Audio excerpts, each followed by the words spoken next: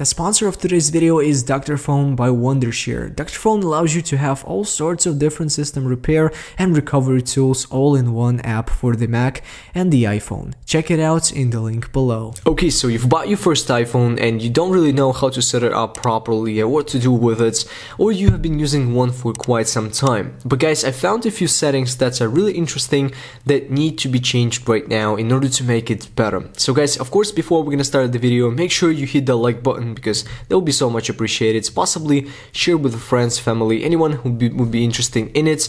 And now let's get straight into this. And the first one is in the passcode. So go into your settings, uh, scroll down until you see the passcodes and accounts, click on this one, and there we have this toggle for autofill passcodes or the passwords. So it basically autofills the email and the login information on any website that you visited and actually provided your uh, information. So you don't need to remember everything in your head. Now in the same category category there we have the fetch new data setting. Click on this one. So this basically fetches new data from an iCloud every single 15 minutes as you can see and which is actually really really bad for the battery. So make sure you select every 30 minutes or hourly or even manually or even disable it if you don't really use iCloud Drive Mail and stuff like this. And next is in the iCloud. So if you go into your iCloud actual accounts on your iPhone in the top portion of the settings uh, you're gonna be up here in this page. Now go ahead and find my iPhone so find this setting, click on this one and make sure you select the send the last location because every single time that you're low on the battery, your iPhone is going to be pushing your last location to an iCloud. So you're going to see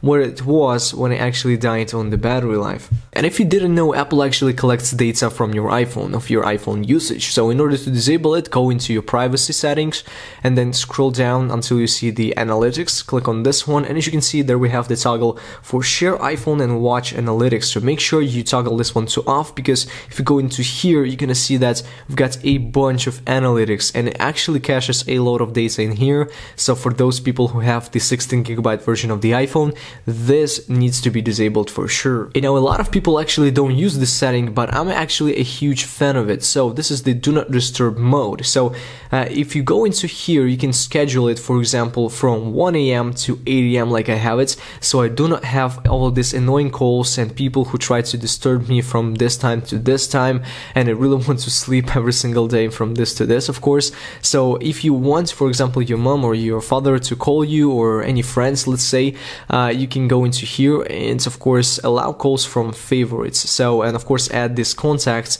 of your family or friends to your favorites and they're to be able to call you at every single time. Now this next one is a huge benefit for me but I'm not sure if it's to be for you because it really depends on how much data pizza do you actually buy and use uh, in every single month. So go into the cellular and scroll down uh, to the bottom and you can see there's the option for the Wi-Fi assist. So this is basically when Wi-Fi is really low, really really bad, the your cellular data is going to be used in order to of course make the experience better for you. So for example if you have just let's say 100 megabytes per day you need to disable this one because you don't really want to have uh, you know your um, actual cellular data to be consumed when you're on the the Wi-Fi, but for me, this is the way to go because I got a lot of megabytes to spend per day. Since the iOS 7 was introduced, Apple introduced also the parallax effect wallpaper available to anyone, and it's still being used in iOS 12.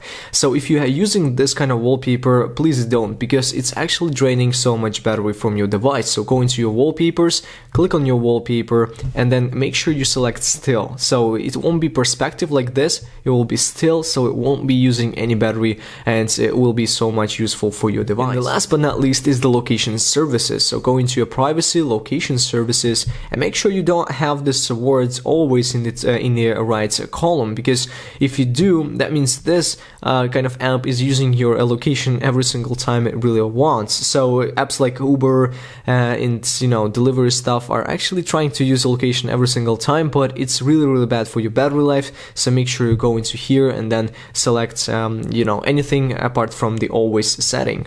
And yeah guys, I think that should be pretty much it for today. I really really hope that some of the settings uh, are useful for you and you found some of this useful. And of course, if you did, make sure you smash the like button. That would be super much appreciated like always. Also, please subscribe to the channel or hit that bell icon because you're gonna be receiving every single notifications from my channel. And you guys have a nice day and peace out.